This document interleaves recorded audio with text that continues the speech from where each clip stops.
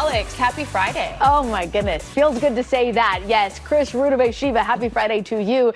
It is 649, almost 650 on this Friday morning. We are starting off our forecast looking live over Malibu.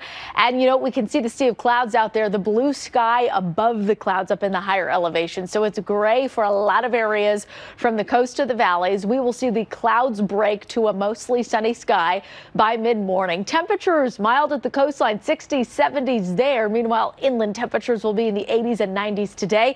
And then temperatures will rise as we head into next week. Talking a big warm up headed our way, and I will really break down the details in just a second. Want to show you Temperatures today from downtown Los Angeles to Oxnard, Woodland Hills coming in in the low 80s today.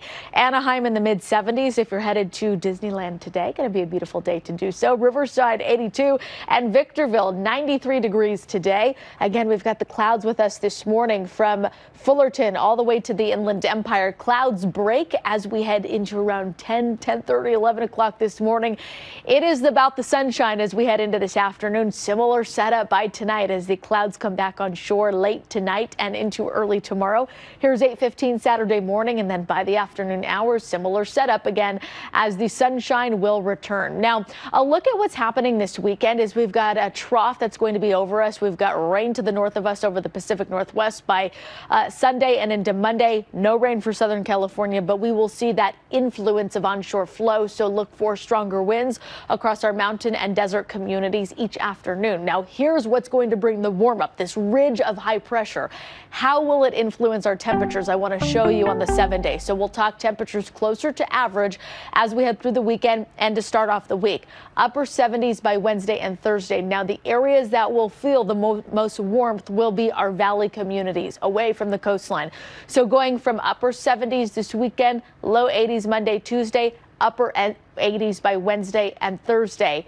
In fact, low 90s as we head toward the middle and end of the week across the Inland Empire, and even feeling that triple digit heat across the deserts. That is your next weather forecast. Here's Kalyna with traffic. Hi, good morning. So I do have an update for you when it comes to the SIG alert. It did clear from lanes 405 North and National. All lanes are now open. That backup, though, is still building again in the northbound direction. So we kept the alternate routes up for you. The 110, Sepulveda, Sawtelle, or La Cienega, all will help you get around that. That is another look at the backup there where it's continuing to build.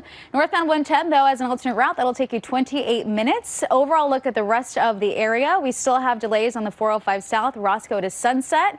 WeHo, a reminder about those closures on the surface streets out there. Do want to leave you, though, with a look at the Inland Empire this morning, where it's pretty nice and clear. Back to you guys. CBS News Los Angeles, your local news, streaming wherever, whenever.